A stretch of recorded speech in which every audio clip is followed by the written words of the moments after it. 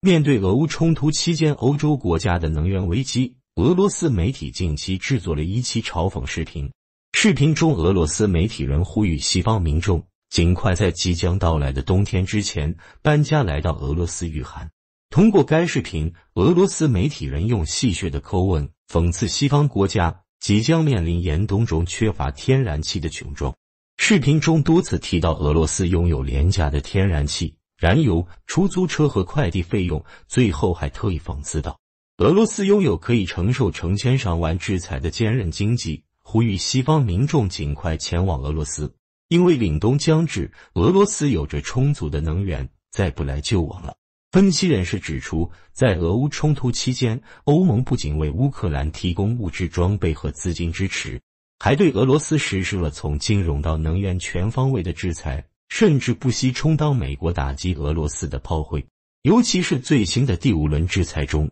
欧盟将对俄罗斯的进口煤炭实施禁运，作为最重要的项目纳入其中，由此也正式拉开欧盟与俄罗斯能源全面脱钩的大幕。欧盟也同时迈开了寻求新的进口替代源的步伐。然而，这一过程对欧盟经济和社会影响实在过于巨大。煤炭、石油与天然气。作为欧盟从俄罗斯进口的三大能源产品，对其依赖程度高低有别。从全球各地最终所能获取的替代资源难度也不尽相同。但无论最终结果如何，欧盟都会为进口能源的转换承担不菲的财务成本与可能的市场风险。外界普遍认为，由于欧盟国家已经决心下定彻底与俄罗斯在天然气领域脱钩。为此，他们希望美国、沙特和卡塔尔三国增产，以提高向欧洲输送的天然气产量。有消息称，德国、意大利和奥地利等国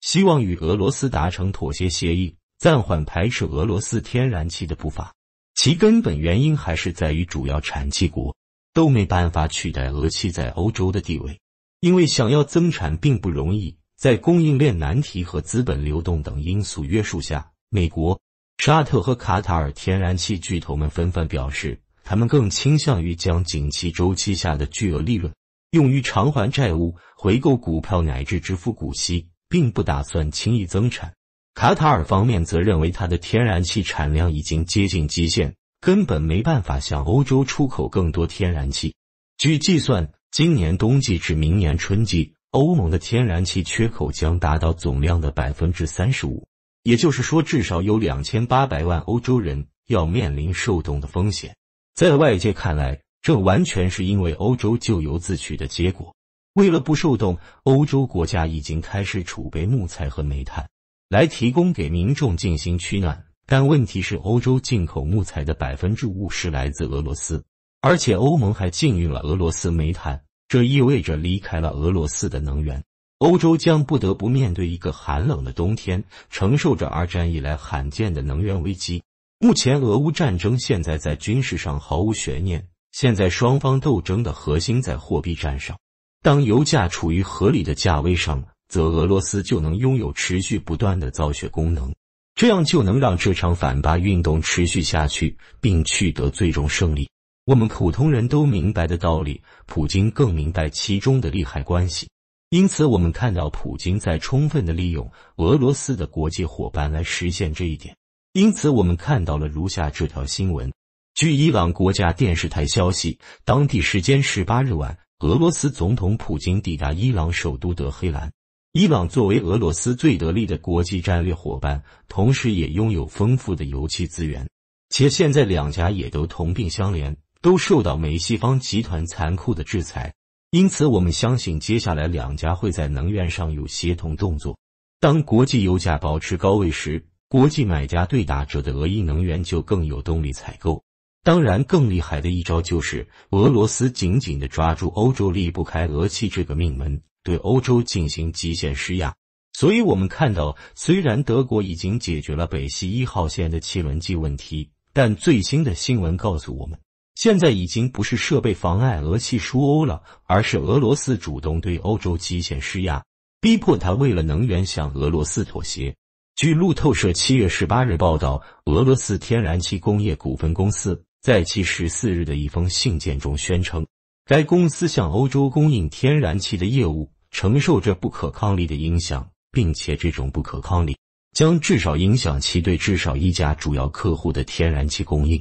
近三十年来，欧经济关系密切，因此俄罗斯廉价、清洁、高效的天然气就成为欧洲不可缺少的能源。其结果是欧洲产业离不开它。可现在欧洲却配合美国对俄进行制裁，加上俄的反制裁，就让欧洲处于饥寒交迫的境界了。俄就要逼欧向自己妥协，让美西方集团承认俄罗斯的既定事实，不搞互相伤害的一套。现在欧洲已经受不了了，俄乌战争带来的通胀压力等，已经让英国政府成为看守政府，意大利总理也辞职，欧盟的双核心德法也受不了。如再加把劲，那对欧洲就真的是大浪淘沙。因此，俄罗斯在供气上对欧不断的卡紧，是有利于国际能源价格维持高价的。同时，我们也看到俄罗斯在军事层面上。也不断的加紧，因为现如今的乌克兰精锐部队已经被俄罗斯吃的差不多，而普京最近让全乌克兰人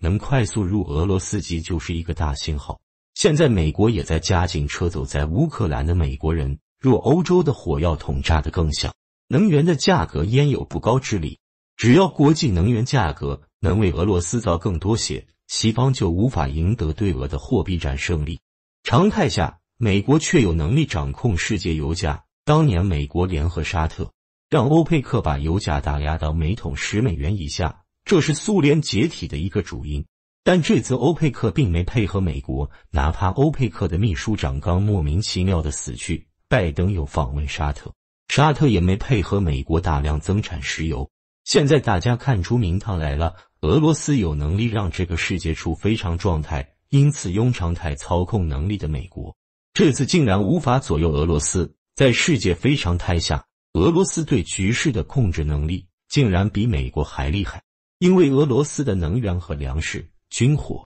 能让俄罗斯在非常状态下活得很好，在非常状态下，大家又特别需要能源和粮食，这些都刚需。因此，只要继续维持非常状态，俄罗斯就不愁自己的能源等卖不出好价钱。也是为什么俄罗斯敢对欧洲。很甚至断气的原因所在。美国虽然也拥有丰富的能源和粮食，还是世界第一大军事大国，但美国是美元霸权供养的。换句话说，是全球的财富滋养了美国。因此，当全球处于非常状态，大家都缺少粮食、能源，则作为常态下的既得利益者，美国就没办法从大家那里得到更多的利益，这样他的霸权基础将崩溃。普京早看出战胜西方的奥妙，他有能力让世界长期处于非常状态，且美国自身也想通过美元潮汐等收割世界，通过让其他国家陷入困难去更好的控制世界。而这两股潮流现在开始合流，就帮助普京实现世界非常状态，这样也就实现了俄罗斯对常态化的既得利益者革命的目的。理解的这一点，我们也就不难理解。俄罗斯为什么会在天然气上对欧盟，在军事上对乌克兰越来越狠了？这样下去，美西方集团和俄罗斯将长期处于持久战中。